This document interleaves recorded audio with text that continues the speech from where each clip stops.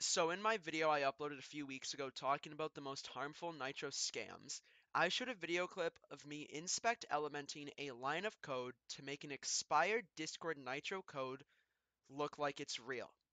For the ones who have joined my Discord server, link below as always, I've been getting questions on how to do this.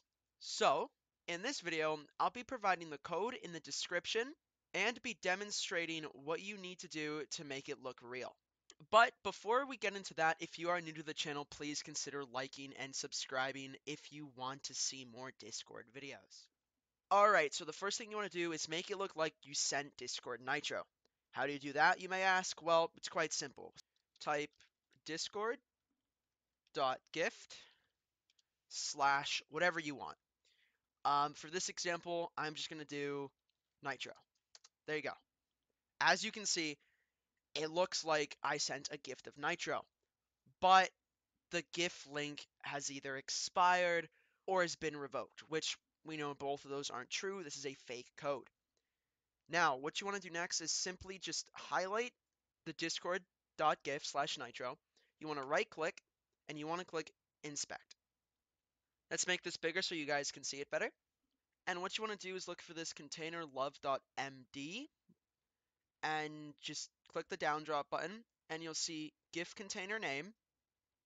But then you want to go to title. Once you see this, you want to right click and click edit as HTML. As soon as you click that, you'll see a text box full of codes that pop up. Simply what you want to do is get the file in the description, download that, copy and paste it. So I'm going to do that right now. As you can see, here's the file. Just do what I'm doing. Copy. And then over here, delete it, post it, enter.